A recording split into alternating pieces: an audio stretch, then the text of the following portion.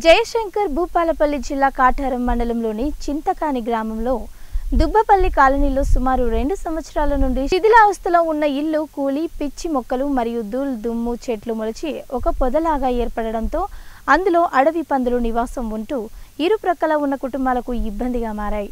అందులో నుండి ఉదయం సాయంత్రం పందుల గుంపులు గుంపులుగా రోడ్డుపై స్వైర విహారం చేస్తూ ఉండడంతో పాటు పాములు కూడా స్థిరపడి ఉంటున్నాయి. శిథిల వ్యవస్థలో ఉన్న ఇళ్ళను తీసివేయాలని లేదా పిచ్చి మొక్కలనైనా తీసివేయాలంటూ గ్రామ పంచాయతీ సెక్రటరీ నాగరాజుకి ఎన్నిసార్లు చెప్పినా పట్టించుకోవడం లేదంటూ రేపు తీపిస్తాను అంటూ నెలలు గడుపుతూ వస్తున్నాడని గ్రామ ప్రజలు ఆవేదన వ్యక్తం చేస్తున్నారు.